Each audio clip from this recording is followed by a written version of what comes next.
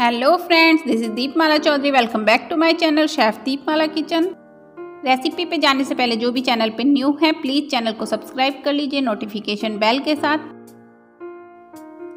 ये हमने तीन मीडियम आकार के आलू लिए हैं। आप चाहें तो इन्हें उबाल कर ले सकते हैं, चाहे तो बेक करके ले सकते हैं। मैंने बेक करके लिया है, क्योंकि उबाले हुए आलू में थोड़ा मॉइस्चर ज़्यादा हो जाता है। अब हम इसमें डालेंगे तीन चम्मच कॉर्नफ्लावर की और तीन चम्मच हम डालेंगे मैदा। अगर आपको ज़रूरत के हिसाब से और लगे तो आप एक दो चम्मच और ऐड कर सकते हैं। अभी मैं तीन तीन चम्मच यूज़ कर रही हूँ।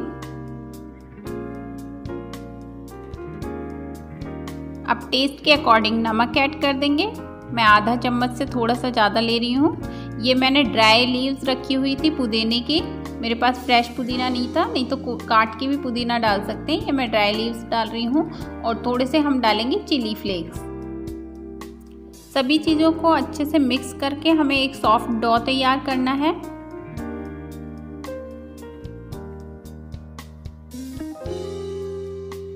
अगर आप लहसुन खाना पसंद करते हैं तो लहसुन ज़रूर ऐड कीजिए। इसमें बहुत ही अच्छा टेस्ट आता है। ये मैंने ताज़ा कलियाँ ली थी लहसुन की चार पाँच और उन्हें अच्छे से क्रश करके ले लिया है। चलिए, इसे अच्छे से नहीं हो पा रहा है तो अब हम हाथों से अच्छे से डॉ बना लेते हैं।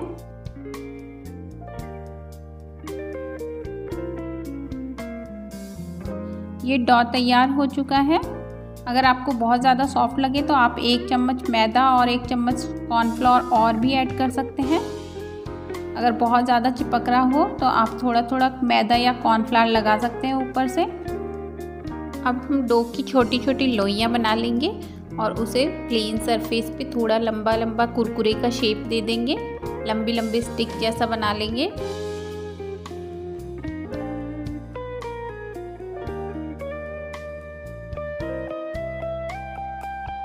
सभी को ऐसे ही तैयार करना है।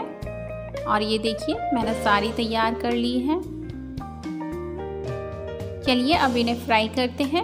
फ्राई करने के लिए मैंने रिफाइंड ऑयल का यूज़ किया है। बहुत ज़्यादा गर्म नहीं करना है तेल को। इतना गर्म होना चाहिए कि जब हम इसे डालते हैं तेल में तो एकदम से ऊपर ना आए। हल्के हल्के बुलबुले आए, उसके बाद धीरे धीरे ये ऊपर आए। और जब तक ये खुद से ऊपर ना आए, तब तक हमें इसे टच नहीं करना है। धीरे धीरे ऊपर आने देना है, उसके बाद हल्के हाथ से हम इन्हें पलटते जाएँगे।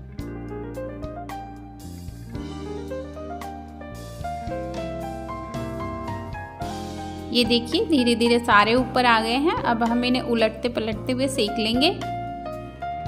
गैस का फ्लेम बिल्कुल स्लो रखना है। कहीं पे भी आपको तेज़ नहीं करना है, अगर तेज़ करेंगे तो ये क्रिस्पी नहीं बन पाएँगे।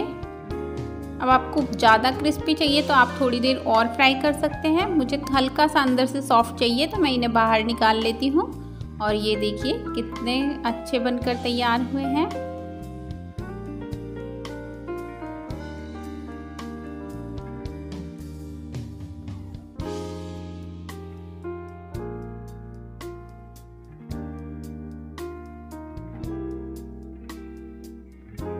चलिए थोड़ा सा और टेस्टी बनाने के लिए थोड़ा सा डालते हैं इसमें ऑरिगेनो थोड़ा सा डालेंगे हम चिली फ्लेक्स आप चाहें तो चाट मसाला भी डाल सकते हैं।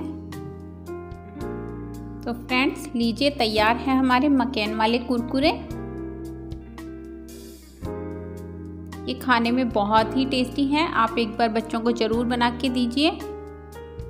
फ्रेंड्स रेसिपी पसंद आई हो तो प्लीज़ वीडियो को लाइक कर दीजिएगा और चैनल पे जो कोई भी नए हैं, प्लीज़ चैनल को सब्सक्राइब कर लीजिएगा। Thank you.